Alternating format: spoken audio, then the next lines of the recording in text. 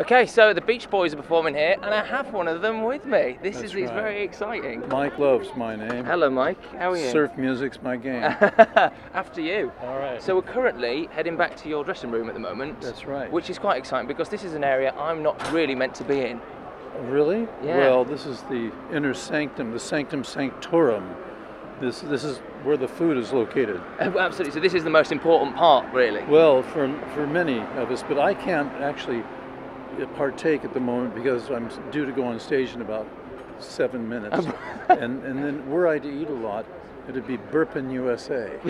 now that Mm, is good. You know. That is good. Well, Now, I noticed you're actually wearing a Beach Boys hat. That is incredibly cool. Did, Well, is that think something that someone else has made and then they've sent you, or how does it No, work? no, no. These are these are these are hats of like two or three years ago that we had for, you know, you have for sale and Mm. you know, as part of your merchandise, and yeah. but So so I'm I kind of like this one on Sunday because it's a sunny color Mm.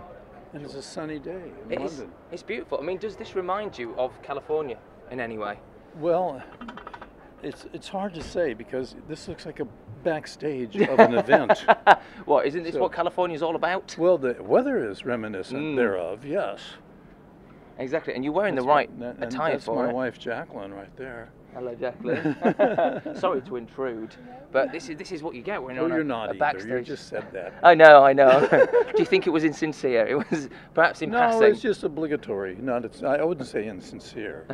it's just you know you've been raised properly in an English manner, and, and you have manners. Well, it's- Therefore, It's very nice of you to say, Mike. So we're uh, we're now right in the heart of, of the area that's We're- been laid out for you. You've got some lovely private toilets there. oh, absolutely lovely accommodations. Yeah, for every kind of personal need. Yeah, whatever that might entail. Uh, Yes. I, I love your shirt, I have to say. I know we've been talking outfits already, haven't we? But Thank you. How about the yellow shoes to go or the ochre, whatever Yeah. that color is? ochre I- loafers. Ochre loafers. Yeah, I think you can have that one. That's, that's for your repertoire. I'm taking it. Yeah. So I mean, just in terms of your performance today, then. Yeah. You've got such an incredible back catalogue of hits. Yes, but this is a mini show. They only want us to do an hour. We're an opening act for JLS. Let's be honest, okay? Maybe in a couple of years you'll be headlining this. If we keep doing well and get, come to these events and prove ourselves, then we, that we might be able to, you know, sort of, you know, get there one day Yeah. to Glastonbury or something. Well, I'll keep my fingers crossed for you, Mike. I Thank mean, you. I appreciate the support and, the- Exactly. and Well, the you good know, thoughts. between you and I, JLS are retiring at the end of the year, so I think the, the way is open for you now. Kind of an amazing thing. They're mid 20s and they're retiring.